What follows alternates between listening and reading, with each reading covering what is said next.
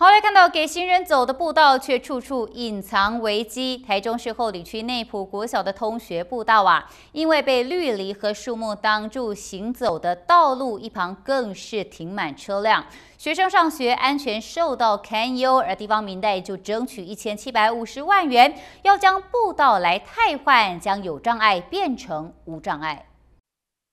狭窄的步道，民众行走时一不注意，还会被一旁的花台以及中间的路树绊倒。这里是位在后里区内部国校的同学步道，因障碍物太多，形成学生上学的安全隐忧。就大概我们一千四百个小朋友，在这条后我后方拥挤的这个呃道路上，好停满了各种车辆，好那小朋友在上面走既不安全，好那也不可靠。这个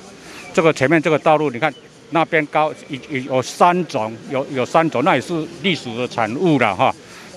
那个学生在行走都很不安全啊，所以我们现在如果哎把这个无障碍哎有有障碍空间，把它变成真正的无障碍空间，真的是对我们的乡亲，不管是运动啊，或是行走，小朋友的行走，都是蛮好的一个一个方法哈。后里区内部国小超过一千四百多位的学生上下学车流涌入堵塞，而一旁幼儿园新建工程人行道退缩四公尺，既有校门围墙只有三公尺宽，门面参差不齐，就连另一侧还被绿篱及树木占满行走空间，就生怕学生在回家或上学的过程中跌倒受伤，后果不堪设想。因此，立委杨琼英争取一千七百五十万，由地方中央共同筹措，不只要将一百三十三米长的步道全。全数汰换外，更打造家长接送区，并将警卫室设计特色外观。工程总共有三种工程哦。第一个无障有障碍空间，真正要成为无障碍空间的一个改善工程，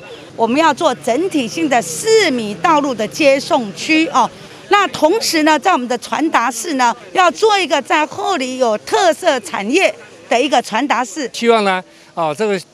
这个通行廊道呢，赶快来改善，让学生上下课安全。那因为整个整个的工程在委员跟我们议员议员的帮忙之下，哎，我们希望学校可以紧速配合建设局的启程。该项工程预计明年下半年开始施作，力平年底完工。届时不止百年老校焕然一新，步道从有障碍变成无障碍，学生能安心上学，不怕危险。